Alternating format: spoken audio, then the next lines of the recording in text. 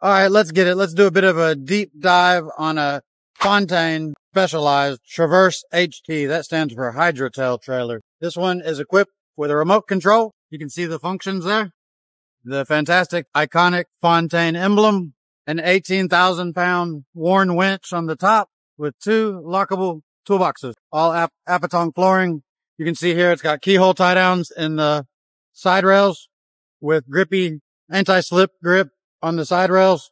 We'll kind of walk through the remote control system and some of the functions. You got your hydraulic spool valve here, the winch clutch, which will free spool the winch, the tail lock right there, which is air operated, the dump valve, which will dump your suspension, work light switch, and the ramp lock, which is right there, that upper one. The bottom one is a winch, two speed winch for option, optional two speed winch, which this one is not equipped with. Um, it has the fold down steps, which are actually pretty nice. So then you can access the upper deck easy peasy. Uh, has the tread plate there, X cut tread plate and so forth. This one is equipped with Air-Weigh scales. Shout out Air-Weigh. They were down here last week, as some of y'all may have seen shooting some of the videos. They'll be releasing that on some of their social media and on their YouTube as they go. Daniel, will you show them how to do the, the ramp is hydraulically operated.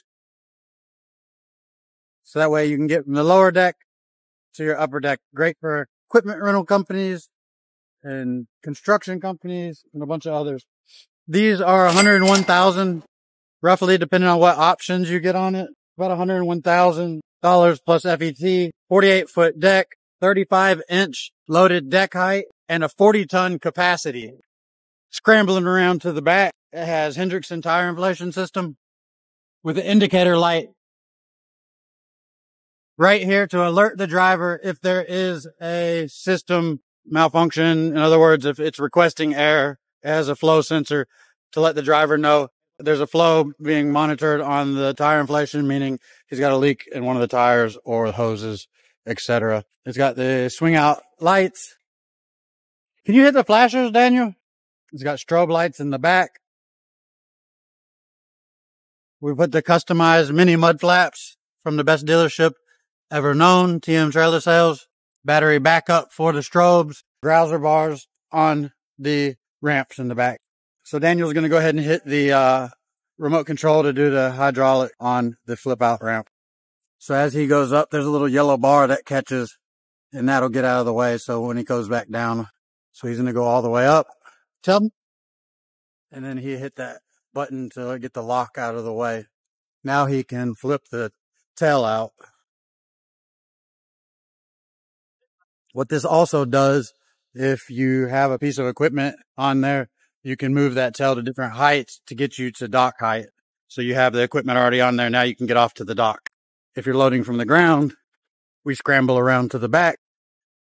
And I think it's a 10 degree slope there that you can get any of your rental equipment, construction equipment, or just logistical uh, solutions on there.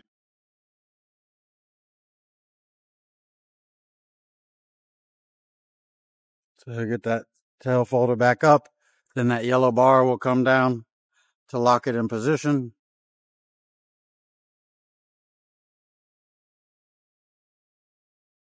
It also clips in right here. When the when that comes out, these little locks lock the tail in place.